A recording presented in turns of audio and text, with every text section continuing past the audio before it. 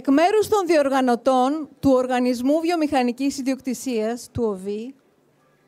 και του Οργανισμού Εναρμόνισης της Εσωτερικής Αγοράς, του ΟΧΙΜ,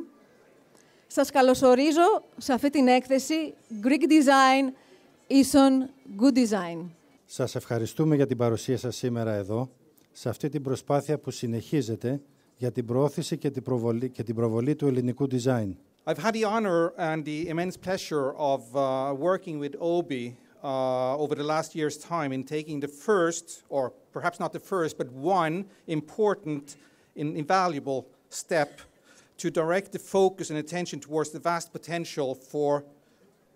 Greek design. Κλείνοντα, θα ήθελα να ευχαριστήσω όλου όσοι έχουν συνδράμει στην έκθεση Greek Design is Good Design, άμεσα αλλά και έμεσα, γιατί πιστεύω ότι είναι πολύ σημαντική και χρήσιμη για τους δημιουργούς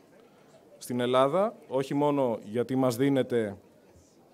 μια εξαιρετική δυνατότητα να φανεί το έργο μας στο ευρύ κοινό, αλλά και πρωτίστως γιατί δίνει σε εμάς τους ίδιους τους designers τη δυνατότητα να δούμε τους εαυτούς μας μέσα από τη δουλειά μας πιο αντικειμενικά.